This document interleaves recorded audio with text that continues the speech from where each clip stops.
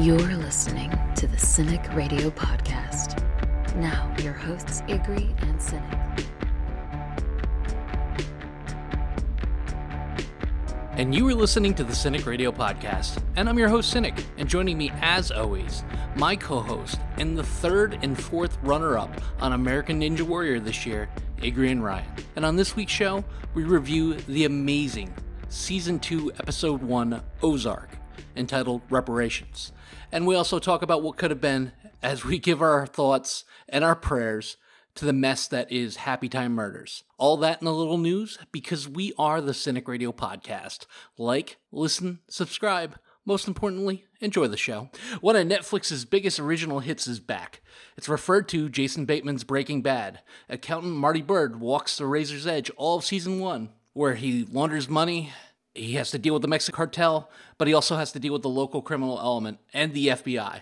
Will this runaway Netflix hit suffer the sophomore slump? Let's find out as we review season 2 episode 1 reparations. Now, I don't know about you guys, but in my opinion Ozark was one of the best shows of 2017 where they kind of left us hanging in a big way. Were you a fan of season 1? Oh, it's one of the best written and acted shows around and and it's the the only comparison of Breaking Bad that I see on it is that well, there's two comparisons is that it's well acted and that it's well written and you know, I mean, yeah, it is a crime drama, but you know, it's a completely it's more of a white collar crime, but it's still a good thinker and it plays to all audiences because they take this this person and these this family really and run them out of Chicago and into the Ozarks where you know some of the people are what the prototypical Ozark family would be like, you know, but it's also showing the the beauty of the area.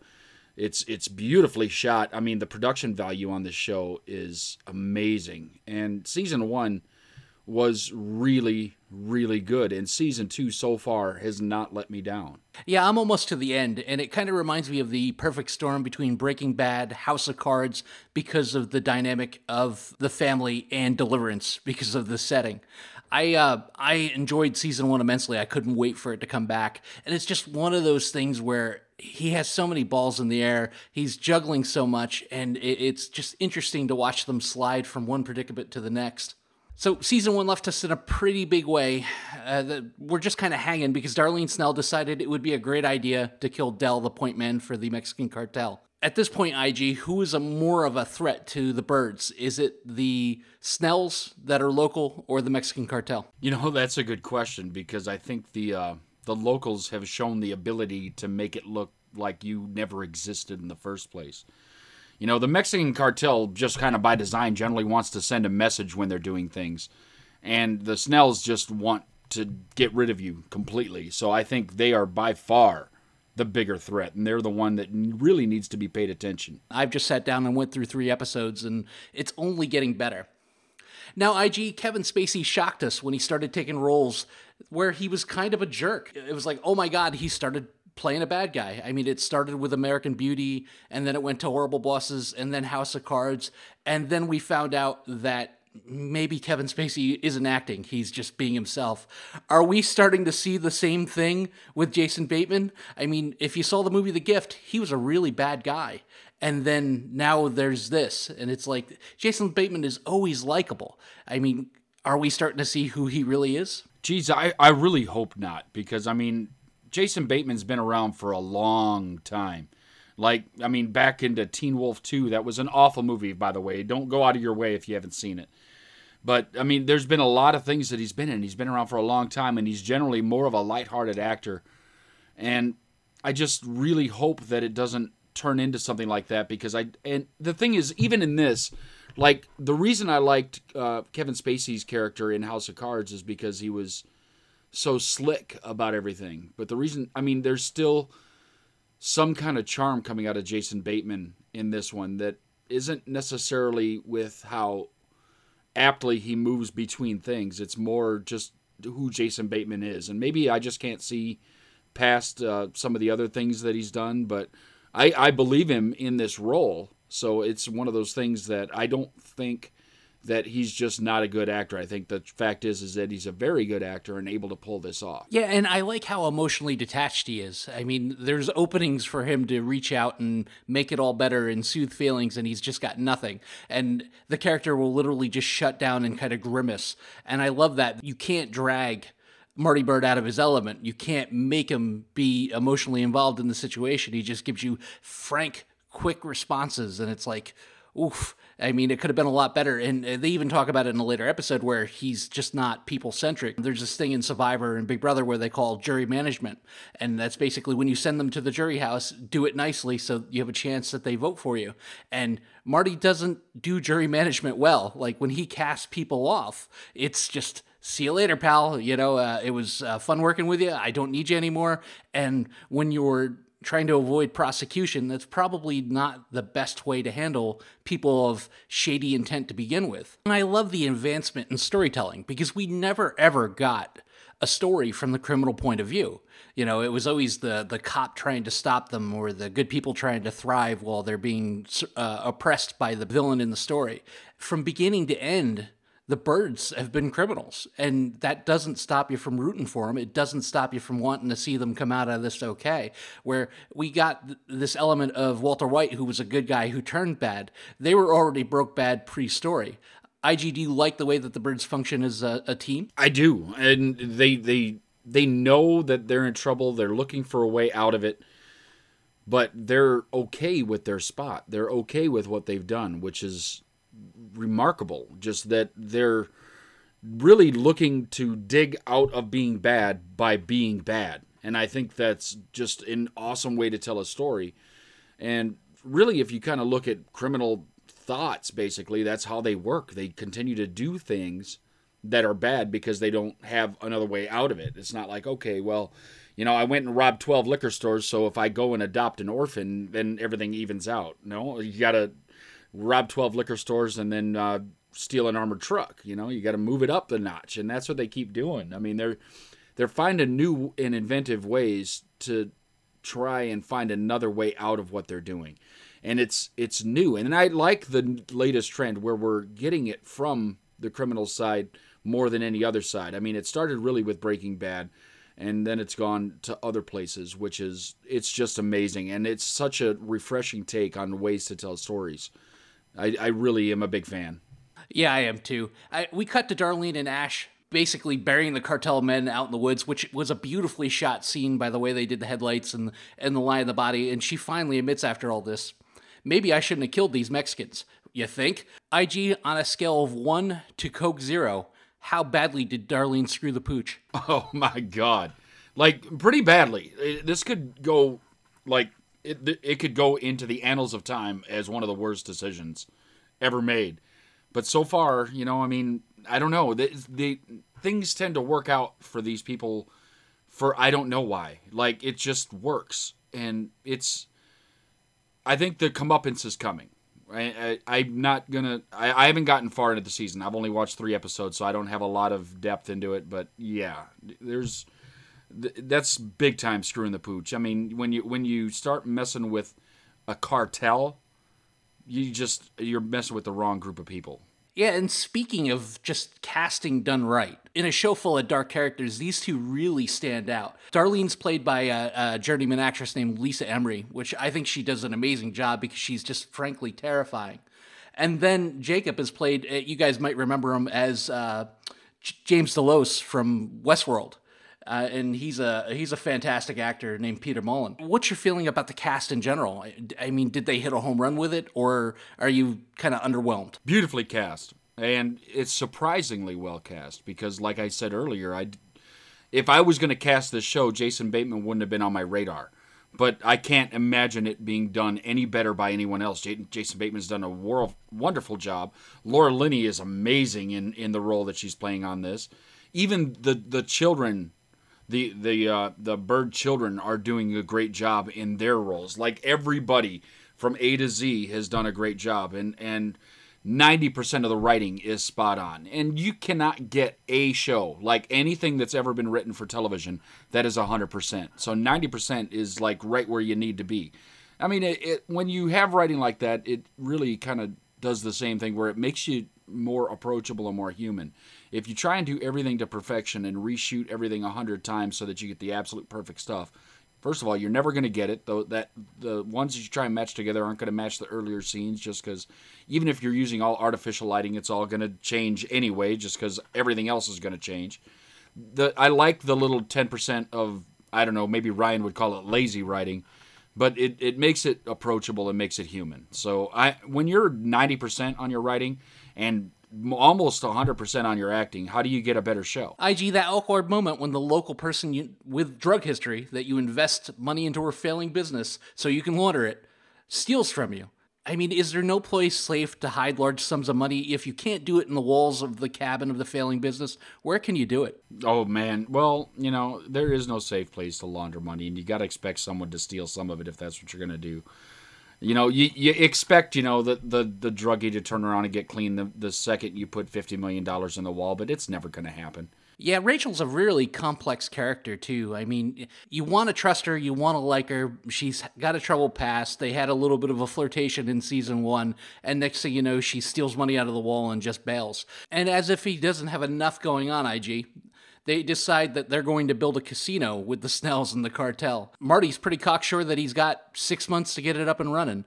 Would you bet against Marty Byrde, or do you think that there's a possibility that we see a casino by the end of the season? Whew, a casino? That's that's big gambling right there. I mean, not not to try and put a pun on it, but that's really taking a chance because I mean, typically, like most places to get a casino, you need to have other things going on. I, now, where they're at, I don't know what the law is, but you know they they have to get it past the legislature to be able to open it, and that's a lot of palms you got to grease. And I don't know if they can find enough dirty people to grease enough palms to make it happen, because that's what you're going to need to have happen from just some random dude wanting to start a casino, because that's what it turns into. Is he's a random guy trying to say, Look, let's do this big money making operation that I can literally launder anything through. Because once you have that casino, laundering money no longer is a problem. I love the cartel's investigation too on what happened to Del. Leads him to that shitty kid behind the counter, just a slacker, like you know, the dick with his phone that doesn't even bother to look up. And I wasn't upset at all that he got his comeuppance. I digress. IG, the cartel finds out that the Snells killed their man, and despite the Byrde's plea, the Snells refuse to play ball and placate the cartel. What are your thoughts on the episode and your rating? Well, you know, coming out of out of season one, this first episode of season two is a strong way to pick it back up. Uh, that again, the acting was spot on on this first episode. It's beautiful to look at, and there's really starting to get a lot of intrigue. You know, one of my biggest concerns about any show is when they don't have any motion, when they don't have any movement. And this one definitely has movement, and a lot of it in that first episode. I really, really enjoyed it, and I'm going to give it a nine I really liked it. It's just a great return for an amazingly written, dark and gritty show. Ozark is amazing from start to go. It's the cast is great, the writing's great. I just can't wait to see what happens with the rest of the season and I'm almost through. I can't look at the cast and say there's one weak performance. People can compare it to Breaking Bad all they want. It's a fair comparison. I mean, and the quality stands up even though they're only in the second season. I give reparations a 9. So we all grew up with the Muppets. I mean, we're all around that age. My experience, this is the first adult puppet movie that I can remember. It has the backing of Jim Henson's family, it has a great starring actress in Melissa McCarthy, and it had a pretty good cast. But did the Happytime Murders live up to the hilarious previews that probably made 90% of the people go see it? We're about to find out. The other main character with Melissa McCarthy is a, a puppet, and his name is Phil Phillips. Great writing. voiced by Bill Barretta, who is a longtime uh, Muppet uh, puppeteer. He's the first and last puppet cop. He's jaded. He's angry. Despite it being a puppet lead, how did you feel about the story? It, did it give that old noir feel, the old school detective type movie? That's exactly the kind of feeling it, it was leading toward. I think it, it missed the mark a little bit, but like it, I could definitely feel that where he had that old, like 50s and 60s kind of like black and white detective story kind of thing going on. It was it was fun, but it wasn't as fun as it could have been. I think there was a lot of places they could have gone and I think, you know, seeing things like um, the Lego movies and things like that, where they've taken a child's property and put enough things in it to make adults enjoy it. That's things that they could have done better Like they they weren't bad, but they could have done it a lot better. They didn't. I think they needed better writing talent. Like the the ability was there, and like Phil Phillips, like I don't care that they do the alliteration thing because you know what, Stan Lee's done it forever, so that's fine to do that. But yeah, I think they could have done better, but I did get the feeling. I, I could tell that's what they were shooting for. I hate to be overly negative, and this is probably the thing that we reviewed the most that I've got the hardest feelings on, but that's You know they they really sold the movie off the back of 30 seconds of humor in the trailer and they didn't provide much else. But i did like uh, phil phillips as a character even though that he was a puppet. I, I thought that they did give him slightly enough depth to make them you know fun and, and watchable. You know the rest of the puppet uh, the rest of the puppet characters not so much. The rest of the happy time people weren't around long enough to kind of get any kind of character development. That i did feel. Ig the rivalry and revived partnership between edwards who was played by melissa mccarthy and the puppet phil was it believable and compelling enough as a side story? Plot was trying to uncover who's killing these these random puppets that nobody seemed to really care about. Well, I think they were trying to push Melissa McCarthy too much into her role from The Heat, if you remember that one with Sandra Bullock. Um, just trying to make her that kind of cop where she's foul mouthed and dirty and everything else. And I think in this realm, it didn't work as well. But their relationship was still I mean, is as believable as it can be when you're dealing with puppets, you know, and they. It, it, it was still a little bit fun, but it, it they needed to take a little different tack than they took. I think uh, it wasn't awful, but there was so many things that could have been done better. And again, like I said, if there's been a bunch of things lately where it's children's properties that they gear toward the entire family that makes it fun to watch. I mean, Disney does it all the time. Pixar does it all the time. These other stu- and this was done out of a smaller studio, and I think that was part of the problem. They needed to get somebody big on board. Well, one of the big things from the promo was the puppet sex scene, which that is one of the few things in the movies that did really deliver with an hilarious silly string ending. And I love the fact that the humans were kind of outside the office, just stuck uh, listening, and it went on way too long, and it was way uh, way too uncomfortable. But it was showed it, you know they kind of completely spoiled the moment and i think it would have been uh, more advantageous to the movie if they wouldn't have put that in the, the trailers. Yeah totally. I mean you, when when you waste everything that you've got on the trailer and then people go start seeing the movies especially in today's world things are going to travel quickly, right? You know, between Twitter, Facebook, and everything else.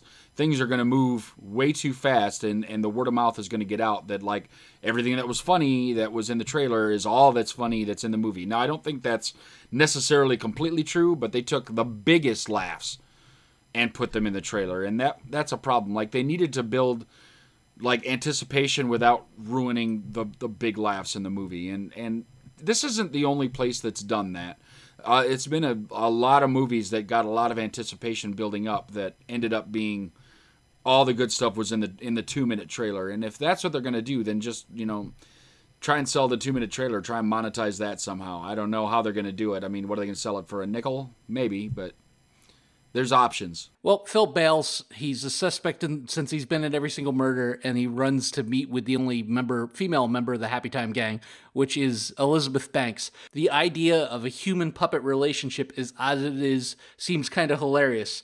And if this was a possibility, would you partake in some rotten cotton if the puppet was attractive enough? There are no strings to hold me down, so you might have to to take that around for a spin at least once, just to to brag to your buddies about the experience. You got to got to give everything one kind of shot, right?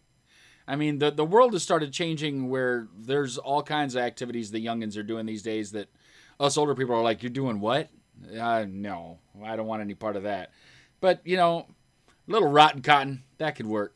One of the most off-putting things about the movie was that Leslie David Baker, is Lieutenant Banning, uh, Banning in the movie, and we all know him at least on the podcast as Stanley Hudson from The Office. And he had more dialogue in this movie than he had in the eight seasons of The Office.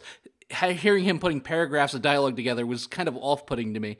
IG, what did you think of his performance? And was it a little weird to hear him say more than three words? Yeah, the the uh, the fact that he was speaking so much was was weird because really all I've all I remember seeing him in and and saying anything is The Office because he he was such a pivotal part. Now most of the time it was single or double word answers while he played his crossword puzzles, but now we get this whole like diatribe of stuff out of him. So it wasn't it wasn't poorly done, and I think he kind of played that whole angry lieutenant thing pretty well.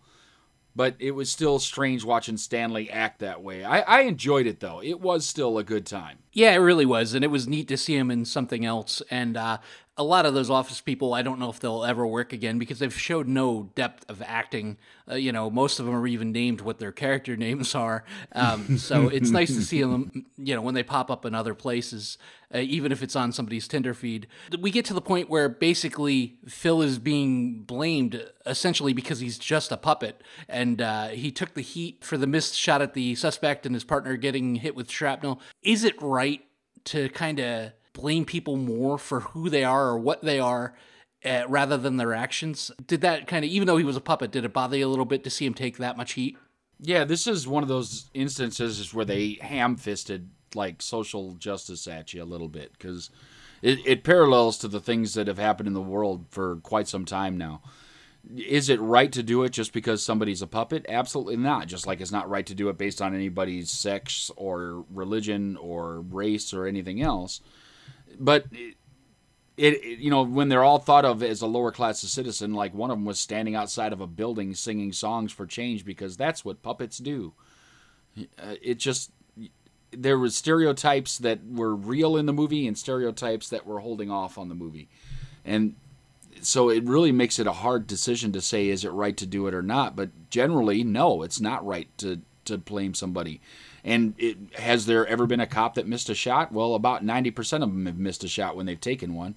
That's why they shoot so many times when they actually tend to take out their guns. They, they'll average cop, I think, shoot somewhere between 10 and 15 rounds at any time they pull out their weapon and fire a shot. It's a lot of shots that come out because most of them don't hit what they're supposed to. And this guy fired one shot and didn't hit what he was supposed to and tragically hit something else. And now he there can be no more puppet police officers or anything else. And that leads into like, what if our police force in the United States was all white? That would be problematic, wouldn't it? So, yeah, I see the problem. On the way out to talk to the final survivors, they turn on the radio, and that's what Friends Are For comes on the radio and causes uh, Melissa McCarthy's character to shoot it. Is there one song that you're trapped in the car with somebody that you're not sure of that would cause you to shoot your radio? Oh man, like I don't know, like that that um that girl is bananas song from Pink or whatever. B A N A N A S. I just want to strangle things. Isn't that the? Is that that's Gwen Stefani, isn't it? Yeah. Oh, that that's what it is. Yeah, I can't stand it. It makes it makes me want to just choke people. I don't know why. Like that song comes on and I'm like, all right, let's go. To me, it's uh, those older R and B, uh, early '90s songs like uh, "Color Me Badd," "I'm Gonna Sex You Up," or anything from Boyz II Men. It just makes my skin crawl because it's Bell so damn DeVoe. douchey. Oh yeah, well, Poison's not that terrible of a song. I would uh, I would get down to some Poison, but uh, the rest of that stuff I could definitely do without. IG. Towards the end of the movie, Melissa McCarthy's character ends up quitting the police force, and she basically just lets everyone have it and tells them what uh, what she thinks of them. From should have slept with you, didn't want to sleep with you, hated you, did it remind you of uh, Guillermo Diaz's quote, uh, quitting his job in Half Baked? Fuck you, fuck you, fuck you. You're cool. I'm out. Yeah, and the, I love Half Baked. Half Baked is such a such a fun movie, and it's so underrated. Like, it didn't get good play in the theaters when it came out. It, it's become a little bit of a cult classic, and if you have not seen Half Baked, it's like Dave Chappelle at his finest, along with a, a group of other people, and it, they're all wonderful in that whole movie. And the best, like, if I ever quit another job, I'm totally quitting like that, you know, where I'm going to go down the list. And, you know, unfortunately, I work with like 65 people, so it's going to take a few minutes to get through. You're going to have to go to other buildings and get on the radio and maybe rent one of those planes with the uh, trail behind sign behind it. Um, well, you know, the, the big thing now is uh, radio DJs and podcasters quitting in the middle of a show. So you could always pull that off. It would take you all three seconds. Just turn off your computer and walk away.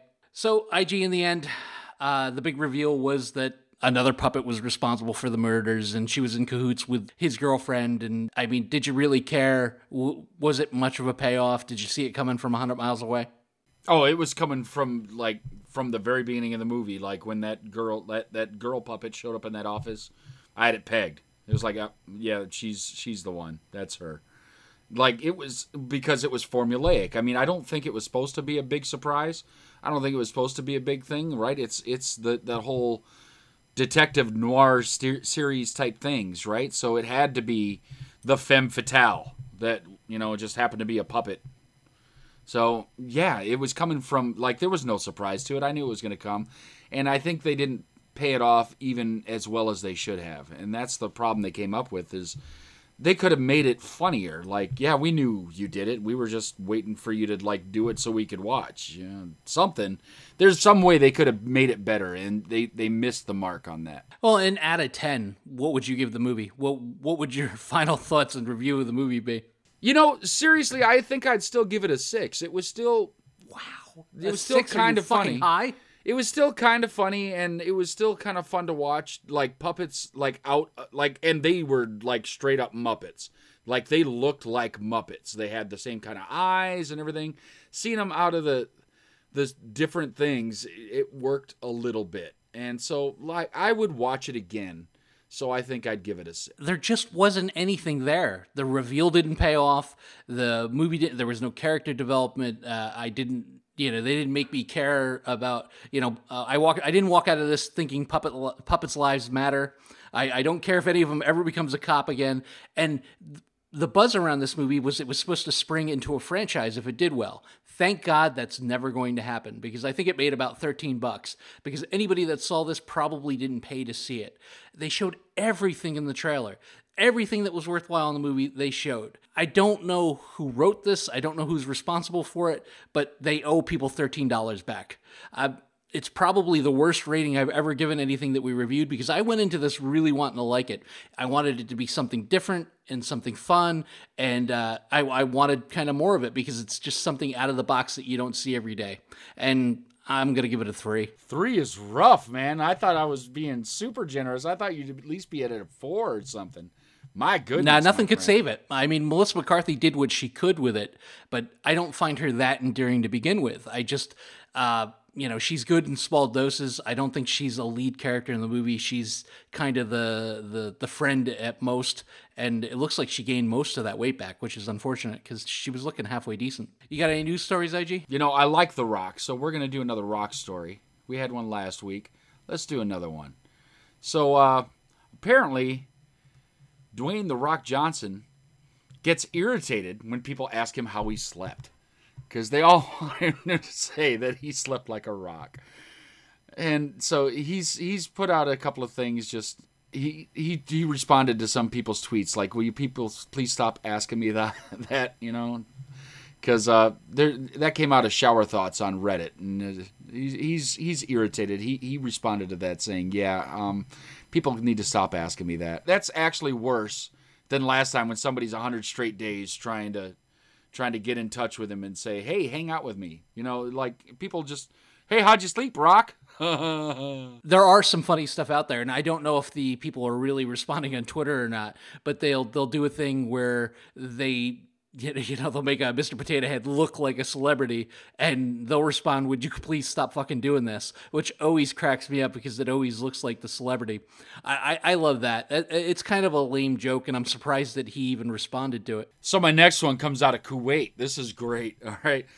A, a, uh, a, store in Kuwait has recently been shut down after it was discovered that the owners were sticking googly eyes on their fresh fish to make them appear fresher. That happened. They're a coastal place, but they uh, have a small coast, so their fishing probably isn't all that great. So they're probably bringing in a lot of their stuff, importing because they only have a small area into the sea there. Yeah, they were taking googly eyes, putting them on the fish's eyes, slapping them into the packages, and then trying to sell them. And then apparently some of the googly eyes were sliding off, and people were taking pictures of them. And yeah, they got shut down.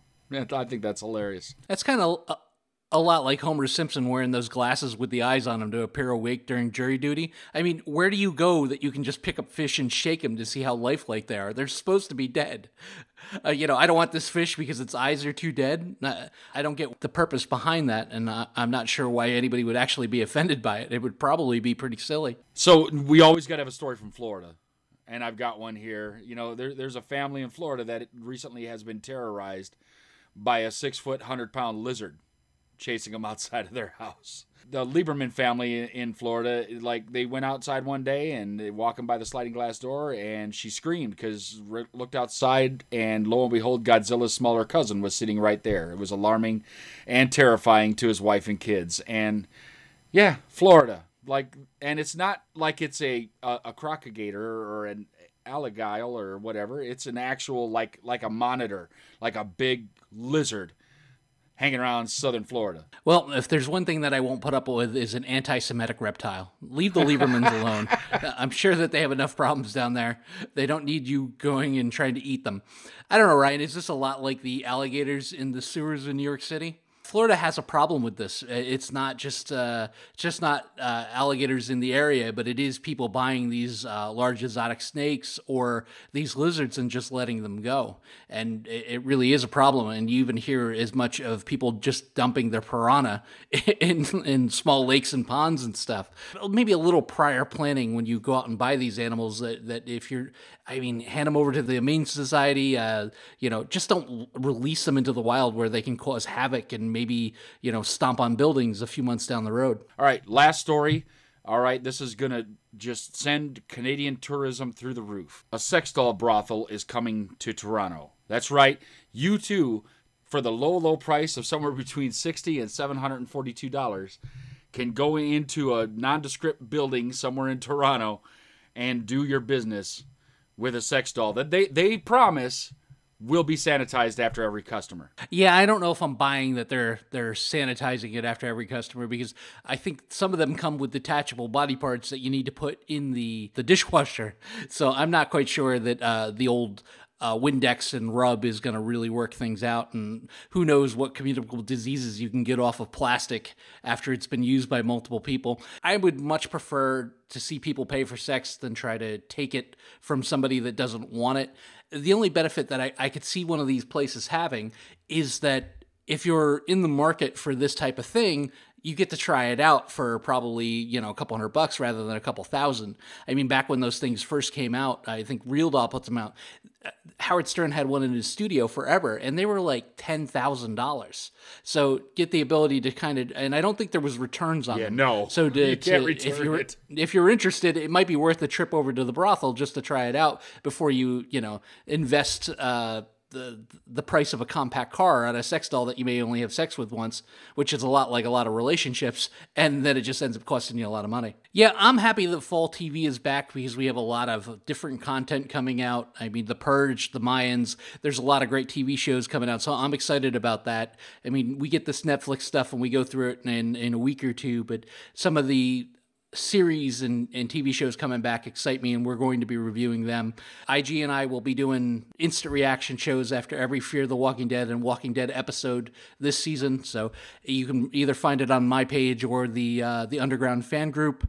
And uh, I'd like to thank the the cast of the Fear of the Walking Dead because they've been amazing on my Instagram this week. We also have a lot of big interviews uh, lined up over the next couple months, and that all leads us into The Walking Dead in October.